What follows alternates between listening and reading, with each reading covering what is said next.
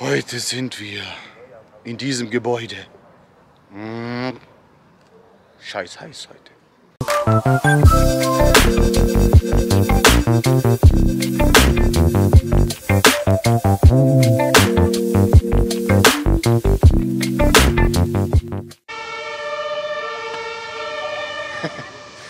Ja, Servus und Hallo zu Einfach Markus.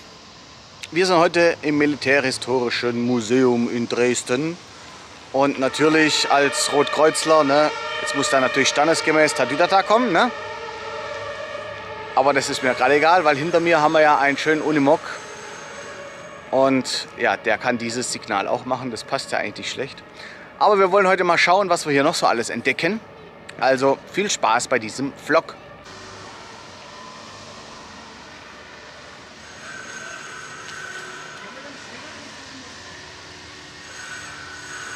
Darf natürlich auch nicht fehlen eine wunderschöne Bell.